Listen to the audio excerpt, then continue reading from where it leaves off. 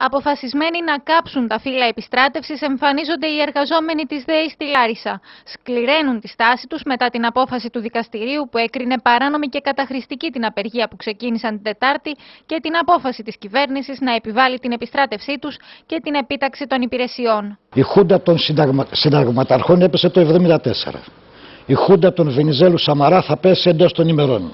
Είμαστε αποφασισμένοι να νικήσουμε να νικήσουμε σε αυτό τον αγώνα που ξεκινήσαμε για να σώσουμε την περιουσία του ελληνικού λαού που δεν είναι άλλη από τη ΔΕΗ. Μία ΔΕΗ που φέρνει χρήματα στον κρατικό προϋπολογισμό. Καλούμε τους συναδέλφους αστυνομικούς να φέρουν όλα τα χαρτιά της επιστράτευσης μαζί στο σωματείο. Να συμπαραταχθεί όλος ο λαός, οι Λαρισαίοι να πλησιώσουν τη ΔΕΗ.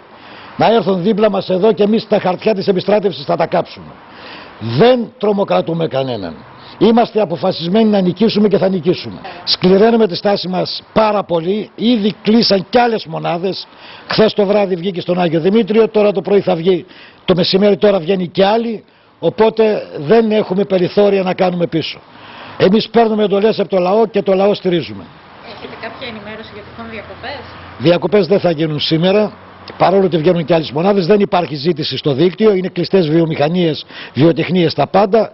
Άρα και τα air condition μπορούν να δουλέψουν και τα πλυντήρια των γυναικών μπορούν να δουλέψουν και όλα. Για την επιστράτευση των εργαζομένων, ο Δημήτρης Κουτσούμπας, ο Γενικός Γραμματέας του Κομμουνιστικού Κόμματος, που σήμερα βρίσκεται στη Λάρισα, δήλωσε. Με αποφασίζομεν και διατάσσομεν δεν λύνεται κανένα πρόβλημα. Ο αγώνας των εργαζομένων της ΔΕΗ είναι δίκαιος γιατί αντιμετωπίζει μια αντιλαϊκή πολιτική της κυβέρνησης που υλοποιεί με νόμους το κοινοτικό πλαίσιο απελευθέρωσης αγοράς της ενέργειας με αποτέλεσμα να πληρώνουν ακριβά τα τιμολόγια της ΔΕΗ και οι Έλληνες εργαζόμενοι τα λαϊκά νοικοκυριά αλλά και να την πληρώνουν όλοι οι εργαζόμενοι του κλάδου με αλλαγές στις εργασιακές σχέσεις, με μειώσεις μισθών και λοιπά που είναι γνωστά σε όλο τον ελληνικό λαό.